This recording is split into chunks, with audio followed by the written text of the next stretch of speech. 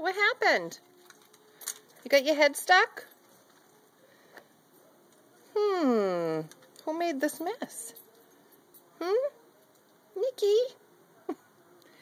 hey, why won't you look at Mama?